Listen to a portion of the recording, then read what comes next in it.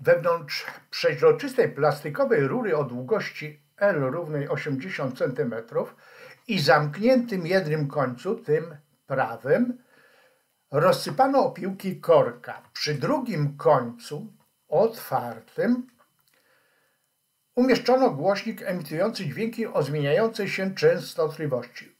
Przy pewnej częstotliwości opiłki korka zaczęły drgać, układając się tak jak na rysunku. To te opiłki korka ułożyły się w taki sposób. Znajdź częstotliwość dźwięku emitowanego wtedy przez głośnik. Prędkość dźwięku w powietrzu to 340 metrów na sekundę. Wypisujemy dane. Otóż, co za zjawisko zaszło wewnątrz rury? Od głośnika biegnie fala, wchodzi do rury i odbija się od zamkniętego końca. Następuje nakładanie się dwóch ciągów fal, jednych biegnących do ściany, a drugi ciąg to fale odbite. I przy pewnej częstotliwości, dokładnie dobranej, następuje zjawisko rezonansu, powstaje fala stojąca. Polega to na tym, że fala wypadkowa, jaka powstanie z nałożenia się fali biegnącej i fali odbitej, będzie miała miejsca, w których będzie się nakładać na siebie grzbiet z grzbietem fali, dolina z doliną i tam będzie następować wzmocnienie dźwięku i będą takie miejsca, w których będzie spotykać się grzbiet z doliną i tam będzie wygaszenie fali.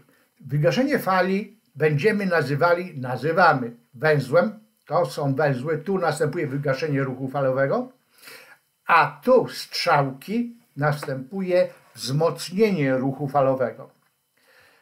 Cała fala to jedna sinusoida. Ona się nie mieści w rurze. Mamy tu od W do W, od węzła sąsiedniego do drugiego węzła.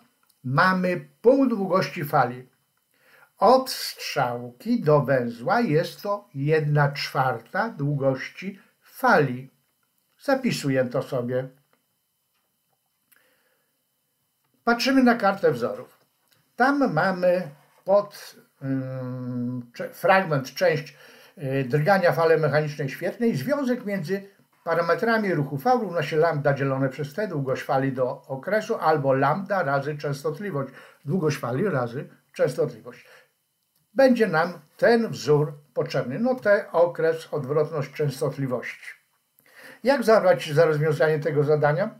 Ja bym najpierw napisał to, co wynika z rysunku, że cała długość L są to raz, dwa, trzy, trzy ćwiartki fali. Trzy czwarte, trzy lambda dzielone przez cztery. O tak. Wyznaczmy stąd lambda i zapiszmy sobie wzór, który znajduje się na karcie wzorów. Ten wzór tutaj. Wyznaczmy z niego częstotliwość i wstawmy lambda do tego wzoru na częstotliwość. Otrzymamy coś takiego. Zobacz z prawej strony tego wzoru na częstotliwość. Wszystko jest znane w tej chwili. Podstawiamy dane.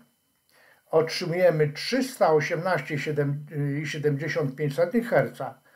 Skąd się wziął herc? Metr na sekundę dzielone przez metr zostaje 1 dzielone przez sekundę, a 1 dzielone przez sekundę to właśnie jest herc.